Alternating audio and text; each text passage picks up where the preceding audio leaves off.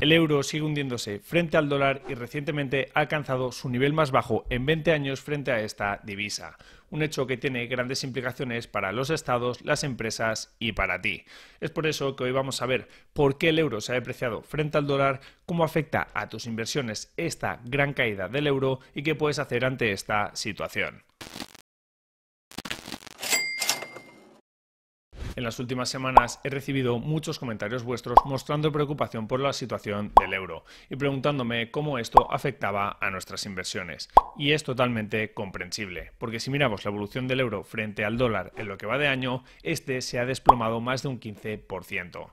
¿Y qué implica que el euro haya caído un 15% frente al dólar? Pues básicamente significa que todo lo que tengas que comprar en dólares utilizando euros te costará un 15% más caro, ya que si el euro ha caído y ahora vale menos dólares que antes, eso significa que para comprar la misma cantidad de cualquier bien en dólares necesitarás más euros. Y es que piénsalo, si a principios de año por cada euro obtenías 1,13 dólares y ahora tan siquiera llegas a recibir un dólar, pues está claro que sales perdiendo con el cambio y que cada vez que tengas que comprar con tus euros cualquier producto en dólares, te acordarás del Banco Central Europeo y de la Fed. Pero Carlos, si yo no compro absolutamente nada en dólares, yo solo uso euros en mis compras, entonces a mí no me afecta esta caída, ¿no? Pues lamento decirte que no es así. Aunque tú no compres nada directamente en dólares, la caída del euro te afecta igualmente. Lo siento, pero no te libras.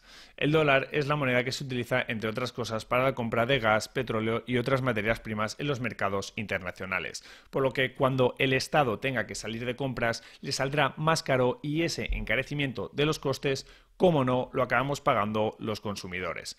Por ejemplo, pagando una gasolina y electricidad a un precio más caro. Por otro lado, siempre que hablamos de monedas tenemos dos caras distintas. Y si a los que tienen euros les sale más caro comprar en dólares, a los que tienen dólares ahora les sale más barato comprar cosas en euros. Es por eso que tener un euro débil favorece las exportaciones de Europa hacia otros países, ya que a las empresas estadounidenses o aquellas que operen en dólares les resultará más barato comprar en la Unión Europea y por lo tanto se decantarán más por esta opción. Pero bueno, si queréis saber mi opinión en esta situación, yo preferiría tener antes dólares, es decir, una moneda fuerte, que euros, sobre todo por lo que ya hemos comentado del encarecimiento de la energía en un entorno inflacionista. Vale, vale, pero ¿y por qué se ha depreciado el euro frente al dólar? ¿Cómo afecta esta caída a nuestras inversiones? Pues sobre la depreciación del euro frente al dólar es importante tener en cuenta que no es una cuestión solamente del euro, sino que el dólar en lo que va de año también se ha apreciado respecto a la inmensa mayoría de divisas. Y para mirar la evolución del dólar respecto a otras divisas, lo que se suele hacer es mirar la evolución del US Dollar Index un índice compuesto por una media ponderada del valor del dólar estadounidense en relación a otras divisas importantes, como son el euro, el yen japonés, la libra esterlina, el dólar canadiense, la corona sueca y el franco suizo. De esta forma, y con tan solo echar un vistazo al dólar index, puedes saber cómo se ha comportado el dólar frente al resto de las principales divisas del mundo.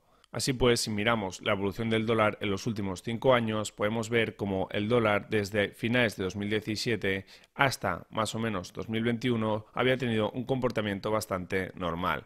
Un periodo donde, pese a haber algunas oscilaciones, tampoco había grandes subidas ni grandes caídas del dólar. Aunque, eso sí, como se puede apreciar, durante los últimos años, desde más o menos junio de 2021, el dólar ha empezado un rally brutal contra el resto de divisas. Y es que si miramos el gráfico del US Dollar Index en el último año, vemos como este ha pasado de estar alrededor de los 94 puntos a estar sobre los 114 puntos lo que supone una apreciación del dólar respecto a las principales divisas del mundo del 21,28% en el último año. Y respecto a los motivos de por qué el dólar ha ganado fuerza actualmente, podríamos decir que esta apreciación del dólar se debe principalmente a tres motivos. El primer motivo sería el endurecimiento de la política monetaria de la Reserva Federal de los Estados Unidos. Desde marzo, la Fed ha iniciado un nuevo ciclo de subidas de tipos de interés para controlar la inflación, y eso ha ayudado a fortalecer la posición del dólar han actuado antes y de forma más agresiva que otros bancos centrales del mundo subiendo los tipos de interés, y ese hecho ha ayudado a aumentar la demanda de dólares y atraer a más inversores. El segundo motivo es que el dólar es la moneda de reserva del mundo.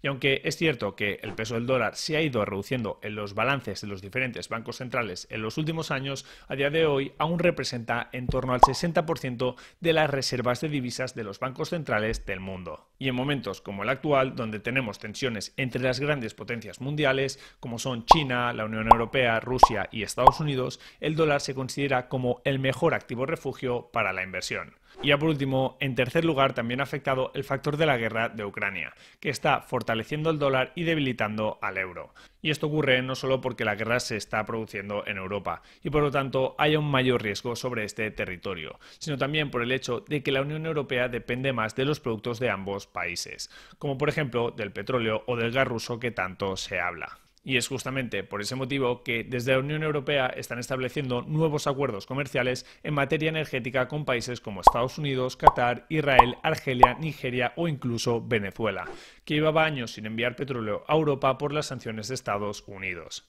Así pues, esta es la situación que tenemos a día de hoy y los motivos principales que han llevado al dólar a apreciarse respecto a la inmensa mayoría de divisas. Pero ahora respondamos a la respuesta del millón. ¿Cómo afecta un dólar fuerte a nuestras inversiones? ¿Cómo podemos invertir para sacar partido de esta situación?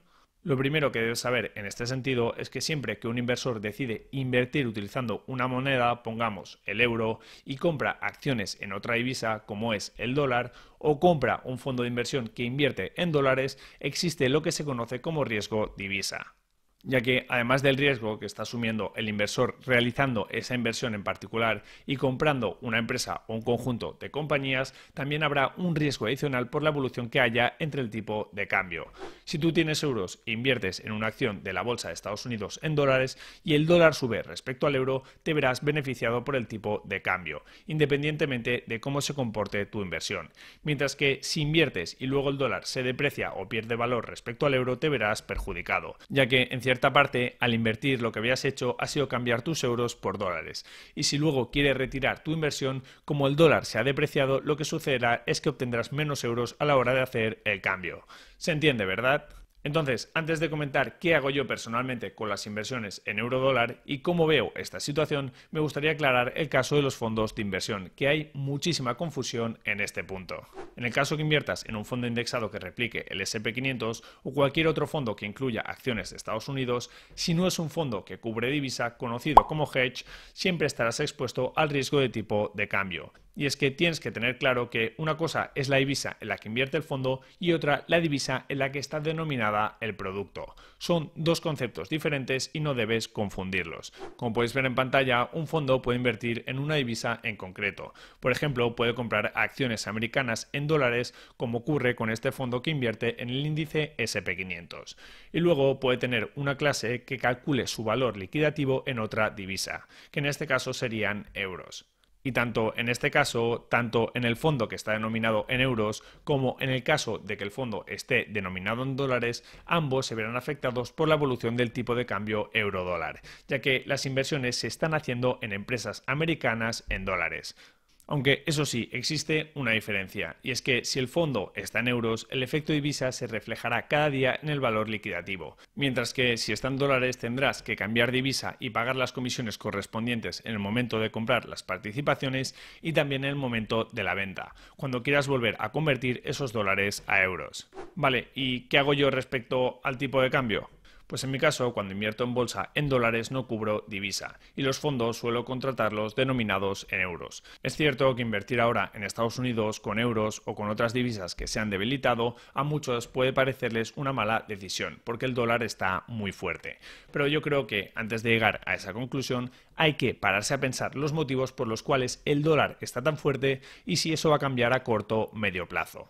Y mi opinión es que ese hecho no va a cambiar de aquí poco, que el dólar va a seguir estando fuerte durante un tiempo y que es una buena opción estar invertido en dólares por todo lo que hemos comentado. Pero aunque estuviera equivocado en esto, como lo que yo hago es invertir cada mes de forma periódica a largo plazo, el tipo de cambio euro-dólar tampoco tiene un efecto muy significativo en mis resultados, ya que voy comprando en diferentes momentos de tiempo y a diferentes precios. Y es por eso que no le veo mucho sentido al hecho de asumir costes extra por cubrir riesgo de divisa. Y si a ese factor le sumamos que en renta variable la divisa ya influye en la cuenta de resultados de las empresas, puesto que las compañías suelen ser multinacionales que venden en todo el mundo y que muchas veces son las mismas empresas las que cubren el riesgo de divisa, pues encontramos un motivo más para no preocuparnos demasiado por el tipo de cambio a la hora de invertir.